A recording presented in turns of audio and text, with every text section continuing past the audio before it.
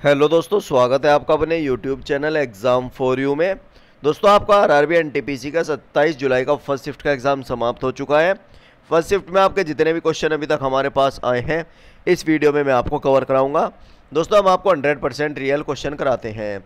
अगर आप हमारे चैनल पर नए हैं, पहली बार वीडियो देख रहे हैं तो जल्दी से एग्ज़ाम फॉर चैनल को सब्सक्राइब करके बेल आइकन को ऑन कर लें, ताकि आपको यहाँ पर हर एक शिफ्ट का एनालिसिस जो है समय पर देखने को मिलता रहे। अगर आपका नेक्स्ट शिफ्ट में एग्ज़ाम है तो वीडियो को बिना स्किप किए एंड तक ज़रूर देखें, क्योंकि यहाँ से आपके दो से तीन क्वेश्चन रिपीट होते हैं। तो देख लेते हैं आपके क्या क्या क्वेश्चन पूछे गए फ़र्स्ट शिफ्ट में। एक क्वेश्चन था कॉमनवेल्थ खेल 2022 कहाँ होंगे? बर्मिंगम इंग्लैंड में होंगे 28 जुलाई से लेकर 8 अगस्त तक। नेक्स्ट है जॉर्जिला दर्रा कहाँ पर है? लद्दाख में लद्दाख आपका करेक्ट आंसर था ऑप्शन में दे रखा था। नेक्स्ट देख लेते हैं। वर्तमान में गोवा के मुख्यमंत्री कौन हैं? प्रमोद सावंत है, राज्यपाल है भगत सिंह कोश्यारी और राजधानी है पणजी। नेक्स्ट एंटोमोलॉजी का संबंध किससे? कीटों के अध्ययन से है। एंटोमोलॉजी का संबंध, आपका करेक्ट आंसर था। दोस्तों, अगर आपके लिए वीडियो हेल्पफुल हो रही है तो जल्दी से सभी लाइक कर दें। अपने सभी दोस्तों के पास शेयर भी कर दें और अगर आप हमारे चैनल पर नए हैं, पहली बार वीडियो देख रहे हैं, जल्दी से एग्ज़ाम फोर चैनल को सब्सक्राइब करके बेल आइकन को ऑन कर लें, ताकि आपको यहाँ पर हर एक शिफ्ट का एनालिसिस सबसे पहले देखने को मिलता रहे। नेक्स्ट था झारखंड राज्य का निर्माण। किस वर्ष हुआ था? 15 नवंबर 2000 में हुआ था झारखंड राज्य का निर्माण। नेक्स्ट था राष्ट्रीय ध्वज को कब अपनाया गया था? यह अपनाया गया था बाईस जुलाई उन्नीस में। आपका राइट आंसर था। नेक्स्ट एक क्वेश्चन था, कामायनी पुस्तक किसने लिखी है? जयशंकर प्रसाद ने लिखी है। विटामिन सी का रासायनिक नाम क्या है? एस्कोर्बिक अम्ल यानी एस्कोर्बिक एसिड है। आपका करेक्ट आंसर था। नेक्स्ट क्वेश्चन था ओईसीडी का मुख्यालय कहाँ पर है? पेरिस फ्रांस में। अध्यक्ष है जोस एंजल गुरिया ओईसीडी की फुल फॉर्म है organization for economic cooperation and development next देख लेते हैं गाइस आंध्र प्रदेश का नृत्य क्या है? कुचिपुड़ी है। कुचिपुड़ी आपका करेक्ट आंसर था ऑप्शन में दे रखा था। दोस्तों, अगर आपके लिए वीडियो हेल्पफुल है, आपको अच्छी लग रही तो जल्दी से सभी लाइक कर दें। अपने सभी फ्रेंड्स के पास शेयर भी कर दें। और अगर आप हमारे चैनल पर नए हैं, पहली बार वीडियो देख रहे हैं तो जल्दी से एग्ज़ाम फॉर चैनल को सब्सक्राइब करके बेल आइकन को ऑन कर लें। ताकि आपको यहाँ पर हर एक शिफ्ट का एनालिसिस सबसे पहले देखने को मिलता रहे। अगर आपका नेक्स्ट शिफ्ट में एग्ज़ाम है तो वीडियो को बिना स्किप के एंड तक ज़रूर देखें, क्योंकि यहाँ से आपके दो से तीन क्वेश्चन रिपीट होते हैं। नेक्स्ट था, स्वच्छ भारत मिशन की शुरुआत कब हुई थी? दो अक्टूबर 2014 में हुई थी, आपका राइट आंसर था। एक क्वेश्चन आया था, कोशिका की खोज किसने की थी? रॉबर्ट हुक ने की थी सोलह में। नेक्स्ट था, ताजमहल की नींव कब रखी गई? 1632 में और बनकर तैयार हुआ था 1643 में।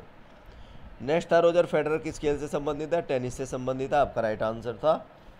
नेक्स्ट, भारतीय संविधान में कुल कितनी अनुसूचियाँ बारह अनुसूचियाँ भारतीय संविधान में, आपका राइट आंसर था। नेक्स्ट, एक क्वेश्चन था, दक्षिण एशियाई क्षेत्रीय सहयोग संघ की स्थापना कब हुई थी? 1985 में हुई थी, आपका राइट आंसर था 1985 नेक्स्ट था, यदि गुणा का अर्थ माइनस माइनस का अर्थ, डिवाइड डिवाइड प्लस का अर्थ, गुणा और डिवाइड का अर्थ प्लस है तो आपको वैल्यू फाइंड करनी थी, कैसे क्वेश्चन सोल्व करना था। सोलह, गुणा का अर्थ है आपका माइनस आठ, भाग का अर्थ है प्लस चार, माइनस का अर्थ है डिवाइड तीन, और प्लस का अर्थ है गुणा नौ। यह आ जाएगा आपका सोलह माइनस आठ प्लस चार, डिवाइड है यानी डिनोमिनेटर में आ जाएगा गुणा नौ। तीन से नौ, तीन बार कट जाएगा नौ।